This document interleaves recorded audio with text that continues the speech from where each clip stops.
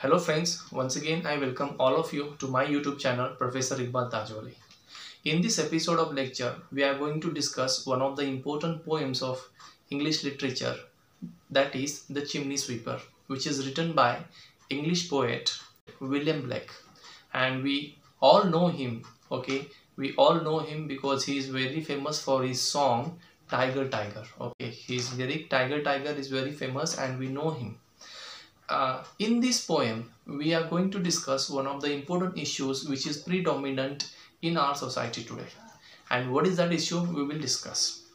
Before we could go for the complete discussion of the poem, The Chimney Sweeper, let us understand when was it published and in which parts it was published. The poem The Chimney Sweeper was published in the year 1789.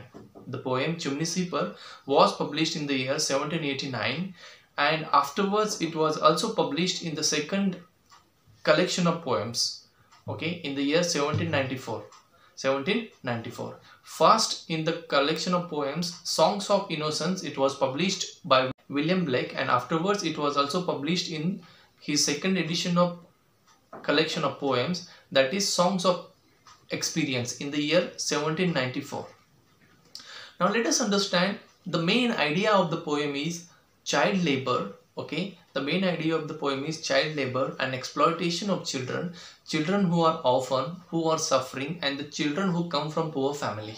The children who come from poor family.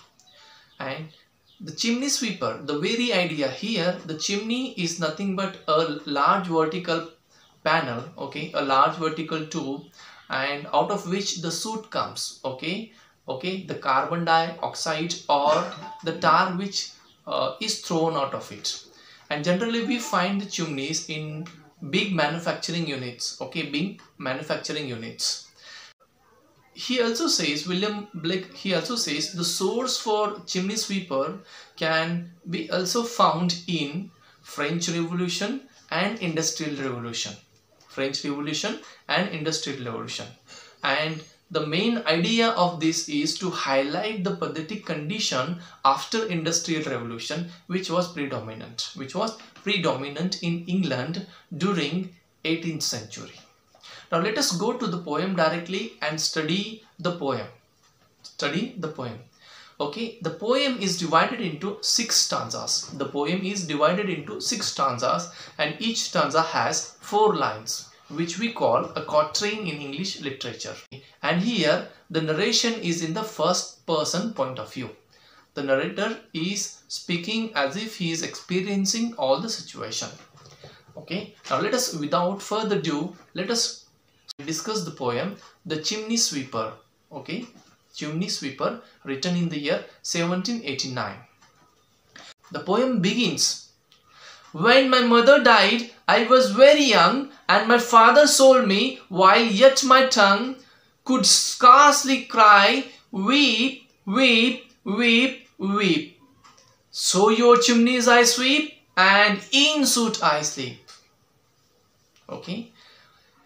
The poem begins, okay, the poem begins where the young boy is telling mother sells him soon after his mother's death only for some amount of money he was sold and he was forced to do the job of a sweeper okay.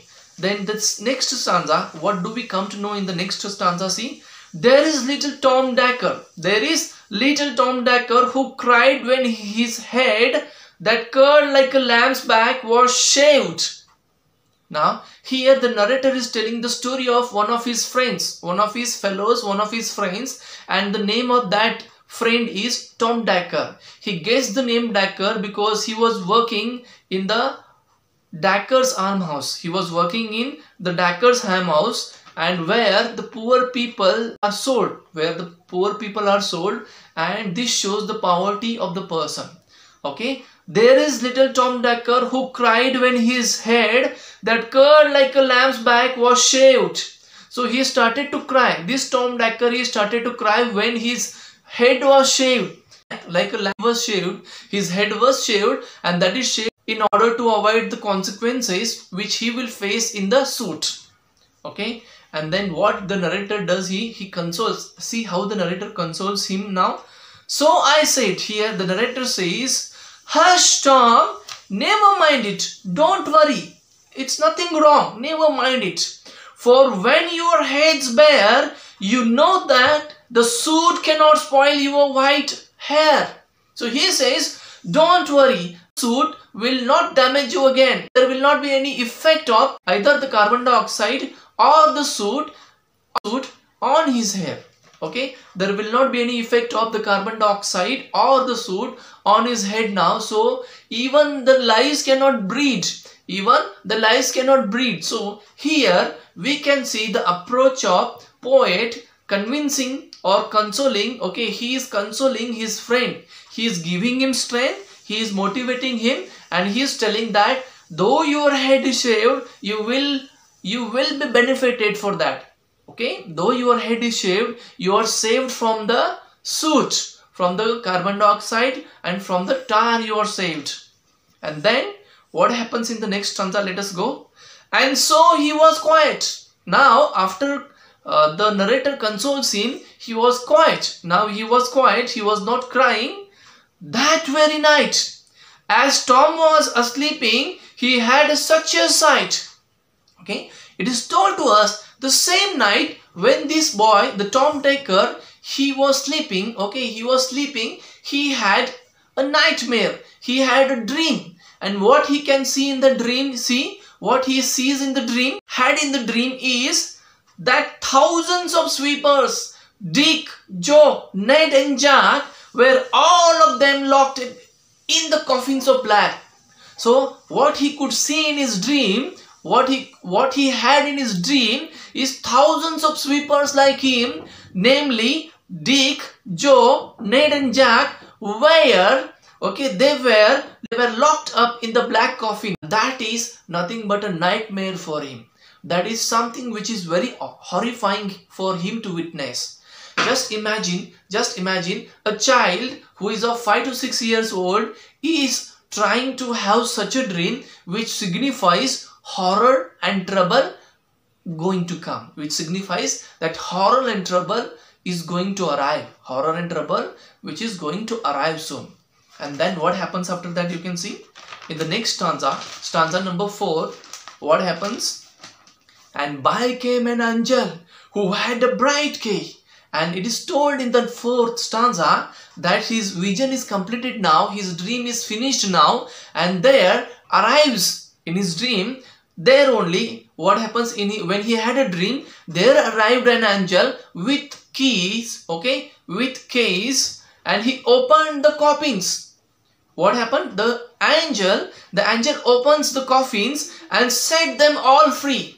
Okay the angel set them free now they are free from the burden they are free from the force now they got the freedom they can do whatever they please and whatever they want then down a green plain. Now these boys are set, set to go, set to move around the meadows, green meadows. Now they can leap, they can jump.